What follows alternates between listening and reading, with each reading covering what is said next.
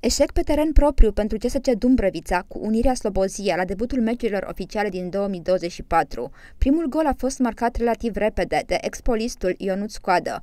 Avantajul a fost dublat în partea a doua a jocului prin Laurențiu Vlăsceanu. La ambele goluri a gafat portarul gazdelor. În runda următoare Dumbrăvița se deplasează la Piatra Neamț pentru un duel foarte dificil cu Ceahlăul.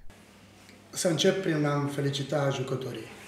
Uh, pentru jocul bun, făcut astăzi. De departe cel mai bun meci al nostru în perioada asta de șase săptămâni, de când am început pregătirile, cu tot vorbesc de toate meciurile amicale care le-am avut până acum, deci cel mai bun, cel mai bun joc.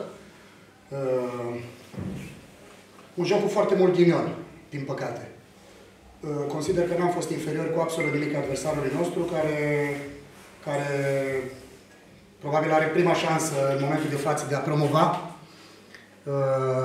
chiar dacă mai este încă mult de jucat și din, din play-off. Dar na, clasamentul, clasamentul vorbește pentru ei.